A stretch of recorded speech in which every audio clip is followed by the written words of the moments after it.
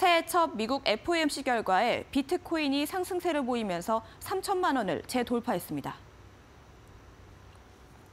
오늘 오전 국내 최대 거래소 업비트에서 비트코인 가격은 3천만 원을 넘겼고 국내 4대 거래소인 빗썸, 코빗, 코인원에서도 3천만 원 이상의 가격대를 형성했습니다.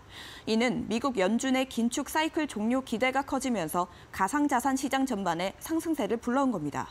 연준은 어제 올해 첫 FOMC 정례회의 이후 성명을 통해 기준금리를 0.25%포인트 올린다고 밝혔습니다.